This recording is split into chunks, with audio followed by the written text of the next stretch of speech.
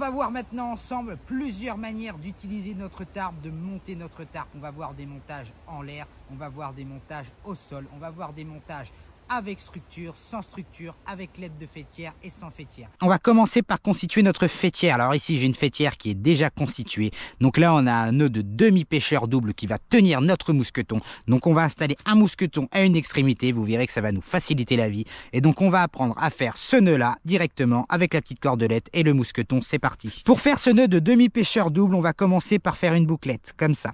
Et on va venir faire le tour du dormant deux fois, voire trois fois. Moi, j'aime le faire trois fois pour sécuriser. Une fois que c'est fait, on va repasser dans la boucle et on va venir passer directement dans les petites bouclettes qu'on vient de faire. Hop. Et on va venir serrer tout doucement. Et maintenant, on va mettre le nœud en place. On a bien nos trois petites bouclettes on va venir l'installer directement dans le mousqueton. Et maintenant, vous allez voir, il va venir étrangler tout seul le mousqueton en tirant.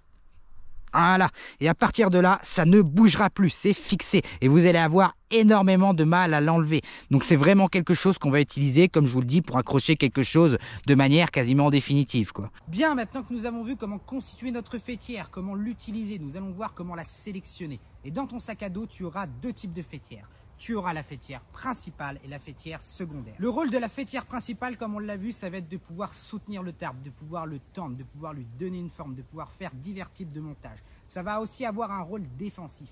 Par exemple, si pendant la nuit, une grosse branche décide de me tomber sur le coin de la cagne, la fêtière doit être assez forte pour pouvoir résister à la pression de la chute de la branche. C'est la raison pour laquelle ta fêtière principale devra toujours faire plus de 6 mm, entre 6 et 8 mm.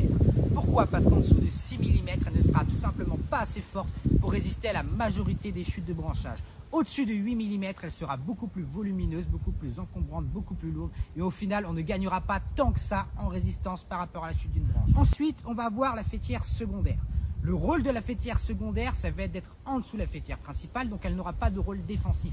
Elle va plutôt avoir un rôle utilitaire pour faire sécher son linge, pouvoir accrocher son sac à dos et tous les ustensiles dont on aura besoin. On va déjà différencier deux types de cordage, le cordage statique et le cordage semi-statique. Le cordage semi-statique, ça va être réservé à toutes les activités sportives comme l'escalade. C'est un cordage spécifique qui va être élastique. Lorsque vous tombez, le cordage, il va s'allonger. Il va absorber l'inertie, ce qui va lui éviter de rompre, d'accord? Si vous utilisez une corde statique pour aller faire de l'escalade, que vous tombez, lorsque l'inertie va tendre la corde, la corde, elle va tout simplement rompre. Donc elle ne jouera pas son rôle et vous... Euh, tout en bas, voilà.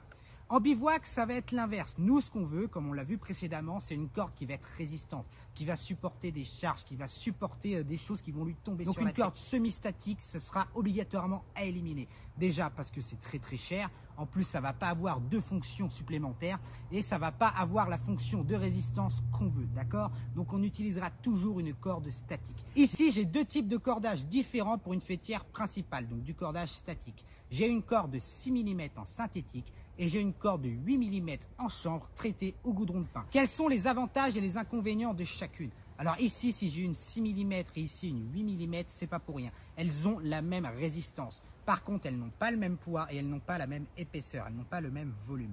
La corde synthétique, elle sera beaucoup plus facilement transportable dans ton sac à dos. Elle va prendre moins de place, elle est beaucoup moins lourde et on peut prendre du 6 mm à la place du 8 mm pour avoir la même Par contre, la corde en chanvre traitée au goudron de pain, elle va avoir de multiples applications. Déjà, elle est beaucoup plus naturelle. Et ensuite, elle va pouvoir servir d'allume-feu. Ça, ça prend feu extrêmement facilement. Il suffit d'une petite étincelle. Vous verrez dans la prochaine vidéo, ça part tout de suite. On va pouvoir s'en servir pour faire des nids d'oiseaux, pour faire tout un tas de choses. Par contre, elle va être beaucoup plus susceptible à l'humidité qu'une corde synthétique. Donc là encore, c'est une question d'environnement, c'est une question d'habitude, d'activité. Quelle activité vous allez pratiquer? Qu'est-ce que vous allez prioriser? Est-ce que vous préférez avoir du cordage plus léger qui a un plus petit volume ou est-ce que vous préférez prendre un cordage plus volumineux, un peu plus lourd, mais qui va être multifonction Concernant la fêtière secondaire, ce qu'on vous conseillerait le plus, ce sera la paracorde. Alors la paracorde, attention, petite mise au point. C'est pour ça que je vous ai amené deux types de paracordes différents. Celle-ci, c'est de la véritable paracorde. On verra tout à l'heure de plus près qu'elles ont quelques petites différences. Ça, c'est réellement fait pour retenir un bonhomme avec son parachute. Ça, c'est de la paracorde low cost. C'est un petit truc chinois qu'on va trouver sur la plupart des sites.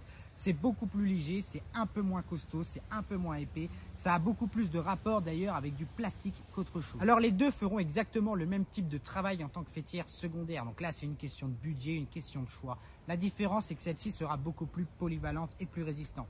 Celle-ci est en plus moderne, donc à l'intérieur, j'ai plusieurs filaments. Je vais avoir un filament d'allume-feu et je vais aussi avoir du fil de pêche. Oui, à l'intérieur de celle-ci, il y a du fil de pêche, ce qu'il n'y aura pas dans celle-ci. Pour que vous puissiez voir mes propos de vos propres yeux, on va donc faire une petite expérience avec une chute de branche sur chaque type de cordage, parce qu'il ne faut jamais croire personne sur parole. Premier essai avec le cordage synthétique de 6 mm. Je vais vous mettre un ralenti. C'est parti.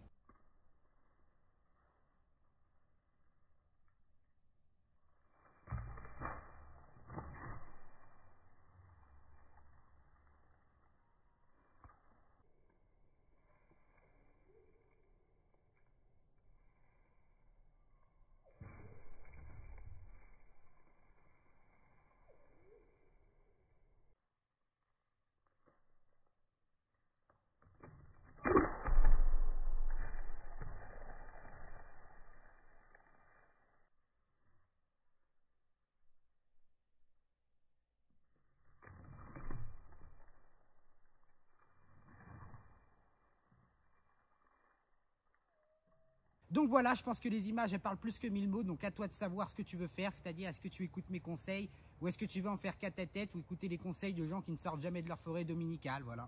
Ça, ça te sauve la vie.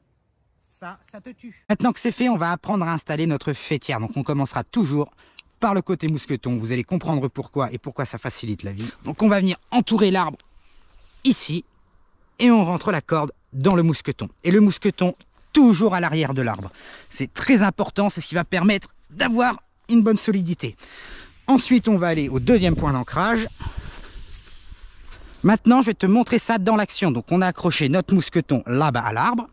On va venir autour de notre deuxième point d'ancrage. Et là, tu vas venir passer toute ta corde par-dessus la première, là. On va vouloir faire une tension. Alors là, tu vois, je fais une demi-boucle. Et quand je vais venir tirer en arrière, comme ça, ça va venir mettre énormément de tension sur ma corde. Et plus je vais la prendre loin, plus je vais tirer dessus comme ça, plus je vais avoir de tension. Alors là, on vient sécuriser, on fait une demi-boucle. Et maintenant, on va faire notre cabestan. Je vais donc t'apprendre à faire ce nœud de cabestan. Comment est-ce qu'on le fait, ce nœud de cabestan? On va venir là faire notre demi-clé. Je pars en croisement, c'est-à-dire que je croise ma corde sur la première, tu vois là? Je vais revenir là, je vais passer en dessous la première corde et je rentre à l'intérieur là. Voilà, tout simplement. Là, c'est serré. Tu vois la forme particulière. Et ensuite, je vais venir faire juste une demi-clé que je ferme pour sécuriser. À partir de là, tu peux prendre toute ta corde, tu peux tirer comme un bourrin, comme un malade. Ça bougera plus. Par contre, pour l'enlever, alors tu enlèves ta demi-clé. Hop, c'est très simple tu vois, hop.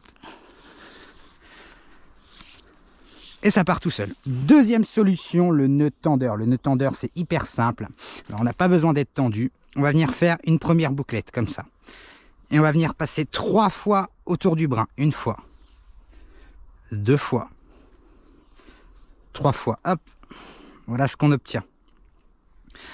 Maintenant, je vais repasser une quatrième fois, comme ça. Sauf que je vais venir faire une ganse, donc je vais récupérer la partie là, je vais la passer dans une boucle et je vais venir serrer. Hop, que ça tienne bien en place. Voilà. À partir de là, quand je veux tendre ma corde, voilà, je viens tendre comme ça. Et si je veux détendre, je détends. Je tends, je détends. Et quand on veut tout enlever, on tire sur la corde, hop, et tout vient tout seul. Et troisièmement, on a la méthode du nœud d'ancrage. Donc pour ça, on va avoir besoin d'un bâton. On va le mettre de côté. Et on vient faire la même chose. On vient tirer, on passe par-dessus, hop. On vient chercher la tension.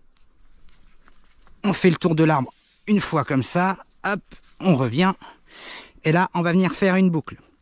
Sauf que cette boucle, on récupère une ganse, pareil, et on vient serrer. Une fois que c'est serré, on vient introduire notre bâton dans la boucle et on va serrer la boucle. À partir de là, ça bouge plus, on a de la tension. Par contre, si on enlève le bâton, on tire sur le nœud, il y a tout qui vient.